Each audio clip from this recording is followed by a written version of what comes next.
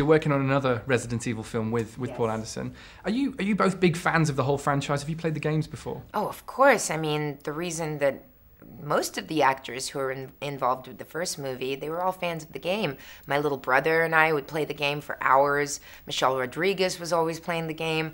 Um, so everybody was so excited to do it. But Paul and I call it the little movie that could because it started out as this tiny European action horror flick and then just snowballed into this beautiful franchise that, um, you know, we care about so much and we have so much fun doing them. And I think that comes across on screen. And what's scarier, zombies or one of Milady de Winter's corsets? Well, I haven't had nightmares about the corsets. I do have zombie nightmares. I guess 10 years in the zombie world, you kind of would imagine that would happen. You're going to have more then if you're doing more films. Oh, I've already started having them. I literally, the first two weeks of rehearsal, the zombie dreams came back. I was like, oh, God. It's a sacrifice. It's a sacrifice to the films then.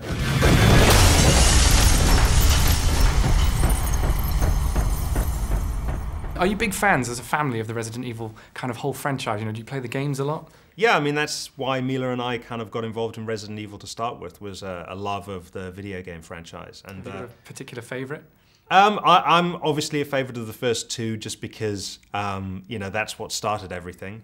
Um, but then also you know in terms of imagery, Resident Evil 4 and Resident Evil 5, the video games, you know on the new movie we're leaning quite heavily on them. They have some incredible action sequences that we're going to try and recreate for our movie. And you're you're you are the most successful director to take a video game franchise and turn it into films.